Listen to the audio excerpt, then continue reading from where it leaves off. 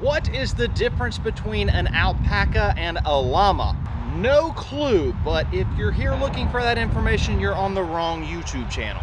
FarmersOnly.com is that way. But if you want to find out how fast a 1648 Jon boat will go with different size mud motors, then you are in the right place. In this video, we're going to be speed testing three different size longtail mud motors. We're going to start out with a 212 Predator, which is a six and a half horsepower, a 420 Predator, which is a 13 horsepower, and the 670 V twin Predator motor, which is a 22 horsepower.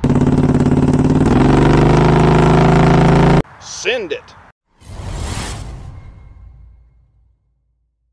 Our test subject for today is going to be my 1648 Jon boat. Let's go over all of the details that I know that you guys are going to ask down in the comments section. I'll just go ahead and get them out of the way right from the get-go, and then we'll move on to the testing. This boat is a 1979 Lowe Industries aluminum Jon boat. I do not know what the thickness is of the aluminum on the bottom or the sides, but it is 16 foot long and it is 48 inches wide at the bottom. Now, I've done a lot of work and modification to this boat. I've got a list of everything right here that I have added, and I will go through all of the weights and then give you the total weight approximately of what this boat is right now. Up on the front of the boat, we've got a bow mount trolling motor. It is a Minn Kota 45 pound thrust coming in at about 45 pounds. I have two Group 29 batteries that are 58 pounds each, so about 116 pounds there. I have a lawnmower battery, I believe is a U1 size coming in at about 17 pounds for starting the uh, electric start mud motors. I've got a six gallon plastic gas tank on this boat with a full six gallons in it. It should come in at around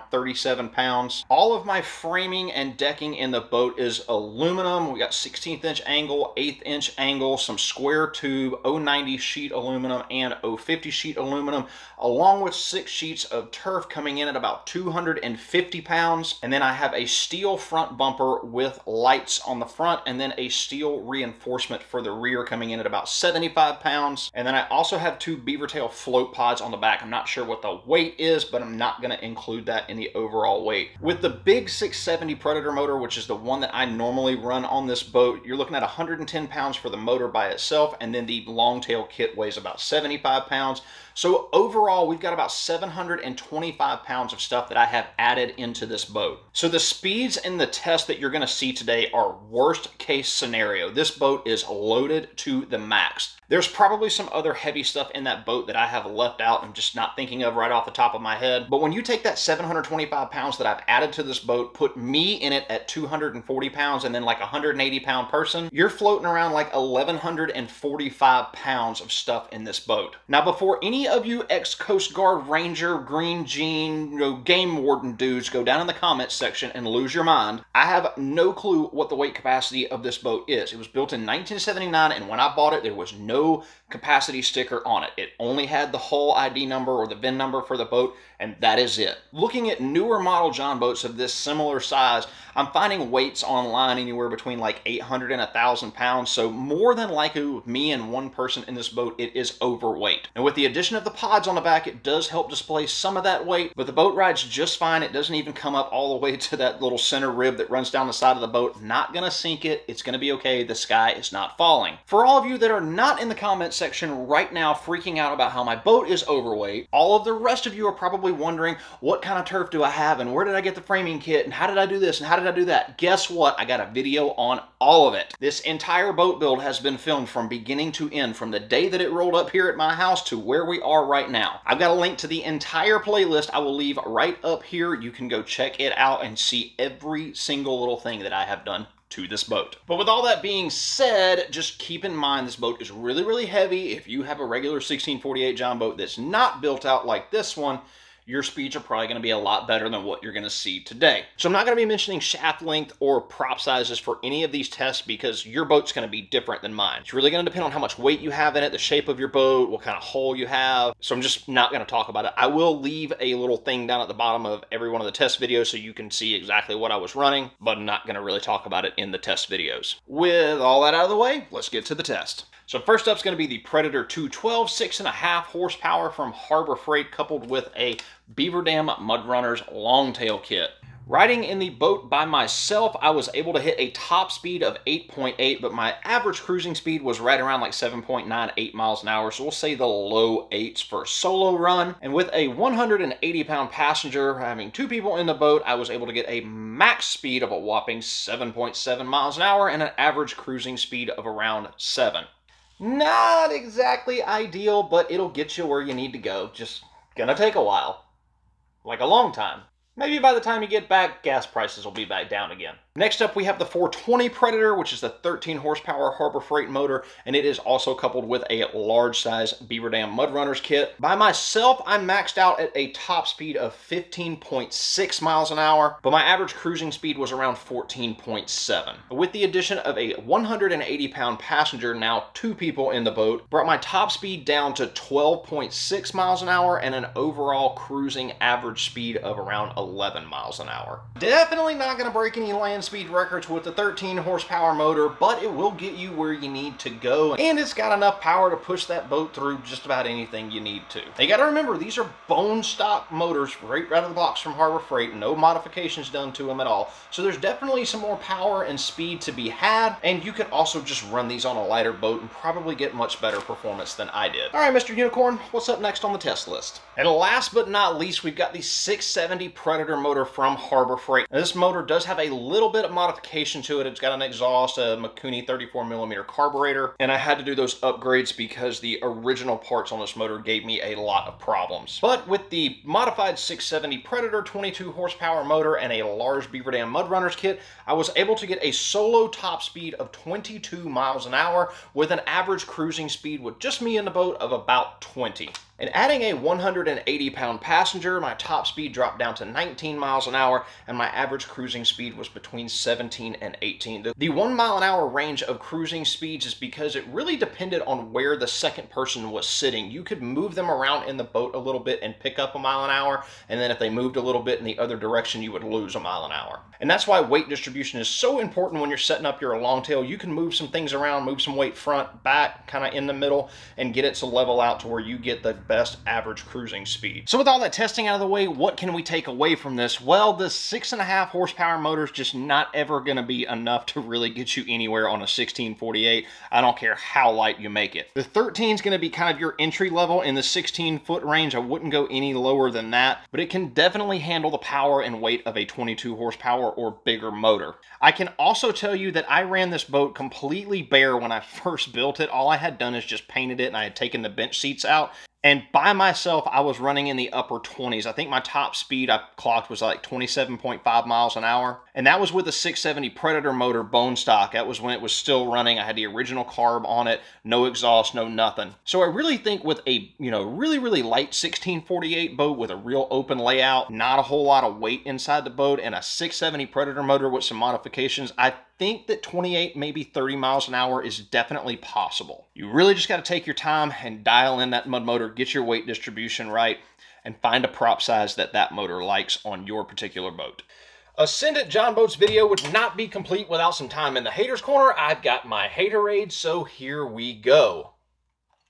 If you're not familiar with the Haters Corner, what we like to do at the end of every video is stand in a corner and see who was the most butthurt in the comments over the last few weeks. And because we know that people are super sensitive on the interwebs, we don't use their real names, we just call them Scooter. Our first Scooter commented over on the 5-day boat build video. He writes, the only way to make the smaller drain plug fit is to use Flex Seal to put your tractor tires on your Honda Civic. Scooter, did you know that light travels faster than sound and that's why you seem so bright until you spoke? you you would think after doing so many of these and reading all of the comments that I get that nothing would shock me, but I promise you tomorrow night I'm going to be standing in the shower going, "Why would you put tractor tires on a Honda Civic?" But that does sound kind of cool. The next Scooter commented over on my framing video where I framed out the 16-foot boat that we worked on today. Scooter writes, .050 is a metric measurement, bud. Just saying. It made me laugh, though. Well, giggle, giggle, ha, ha, joke's on you, Scooter. 050 is not a metric measurement at all. It's 50 thousandth of an inch. All of my machinists and gunsmiths and folks that use little small measurements like that, get him down in the comment section right now. Get them. Ooh, buddy, they're going to tear you up in the comments, Scooter. But with that being said, Scooter, you are a gray sprinkle on a rainbow cupcake. Just saying.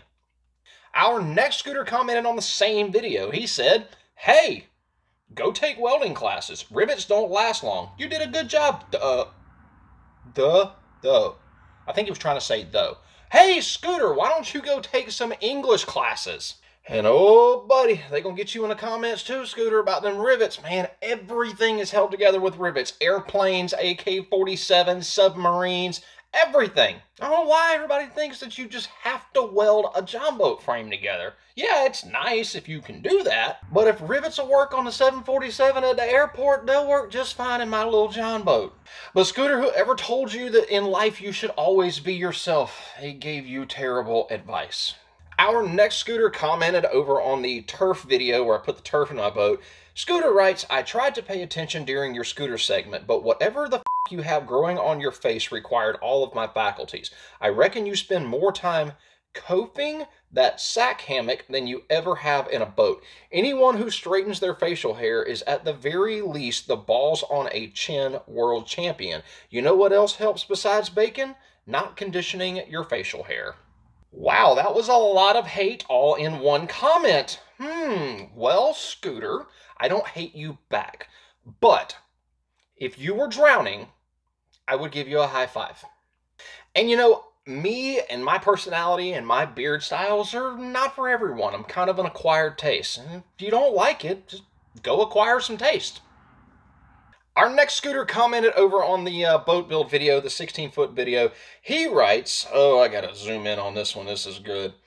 I like your sign in the background. That LSU Fighting Tigers, the Eye of the Tiger, call Baton Rouge, Louisiana, not too far where I used to live in Baton Rouge, for over there on Rogers Court, then moved to Denham Springs, Louisiana by Freeport or, or Park Benson over there, and live in Paris by Newcastle or White Castle. The old bridge across the Mississippi River had the train stop, the train railroad bridge break between them and the new Mississippi Bridge over Community Coffee. You can smell that coffee down below when you drive across coming and going to Palomino or going to Baton Rouge.